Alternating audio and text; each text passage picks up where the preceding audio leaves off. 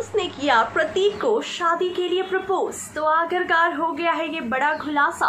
क्या ये दोनों जल्द करने जा रहे हैं शादी? क्या है पूरी खबर? चलिए जानते हैं इस वीडियो में।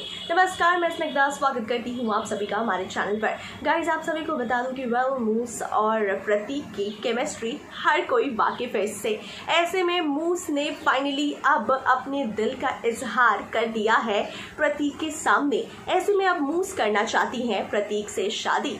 वो कहती है, बस बहुत हो गया। मैं तंग आ चुकी हूँ। क्या मेरी फीलिंग्स की कोई वैल्यू नहीं है? और इस बात पर वो कहना चाहती हैं कि वो अब बहुत तंग आने के बाद अब वो बस प्रतीक के साथ सेटल अप होना चाहती हैं, उनसे शादी करना चाहती हैं। हालाँकि आपको बता दूँ कि वेल इस बात का खुलासा प्रतीक सहजपाल ने करण नाथ के सामने किया था कि मूस ने उन्हें किया है शादी के लिए प्रपोज तो क्या आगे आने वाले समय में वाकई हमें बिग बॉस के घर में एक शादी तो पक्का ही है देखने को मिल जाएगी? जहाँ एक और कई बार ये बातें हुई हैं कि हमें शादी शादी शादी करनी है तो ऐसा लगता है इस बार के सीज़न में शादी तो हो ही जाएगी। क्या वाकई मूस प्रतीक के साथ शादी करके ही रहेंगी? वैसे मूस और प्रतीक की बॉन्डिंग और फीलिंग्स डे वन से हमें देखने को मिल रही है। कभी किचन रोमांस कभी एक दूसरे के साथ फ्लर्ट कभी लेट नाइट टॉकिंग्स कभी डिस्कशंस यानी हर कहीं ना कहीं केमिस्ट्री है।